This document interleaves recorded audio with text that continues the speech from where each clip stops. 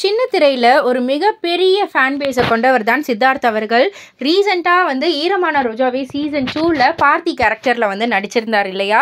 மக்கள் நிறைய பேரை வந்து கவர்ந்த ஒரு நடிகர் அப்படின்னே வந்து சொல்லலாம். சின்ன திரையில் தான் இது வரைக்கும் அவர் வந்து பண்ணிகிட்டு இருந்தார். பட் ஆனால் இப்போது ஒரு வெள்ளித்திரைக்கு போகிறாருங்க அதுவும் யார் கூட வந்து நடிக்கிறாரு அப்படின்னு வந்து கேட்டிங்கன்னா ரன்வீர் சிங் அவர்கள் கூட தான் வந்து நடிக்கிறாங்க.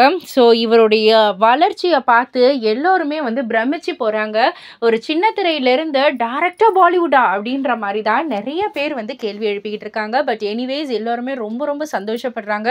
பிகாஸ் அவங்களுடைய திறமை அந்த அளவுக்கு இருக்கும் அப்படின்னு சொல்லிட்டு எல்லோருமே வாழ்த்துக்களும் தெரிவிச்சுக்கிட்டு இருக்காங்க.